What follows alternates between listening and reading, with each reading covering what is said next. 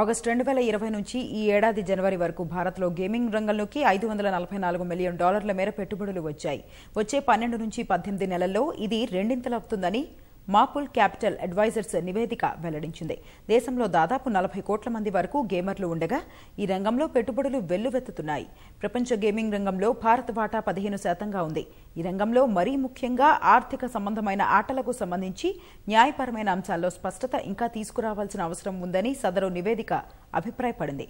గతేడాది సెప్టెంబర్లో dream eleven సంస్థ రెండు వందల ఇరవై ఐదు కోట్ల డాలర్ల మేర భారీ పెట్టుబడి పెట్టగా మొబైల్ ప్రీమియర్ లీగ్లో తొంభై మిలియన్ డాలర్లు నజరా టెక్నాలజీస్ అరవై ఎనిమిది మిలియన్ డాలర్లు పెట్టుబడి పెట్టాయి. ఈ స్పోర్ట్స్ గేమింగ్కు సంబంధించి ఎకోసిస్టమ్ వేగంగా అభివృద్ధి చెందుతోందన్న మాపుల్ క్యాపిటల్ కోవిడ్ తగ్గుముఖం పట్టిన తర్వాత ప్రజలు పనుల్లో నిమగ్నమైతే కొన్ని ఆన్లైన్ గేమ్లు పడిపోవచ్చని కూడా చెప్పింది.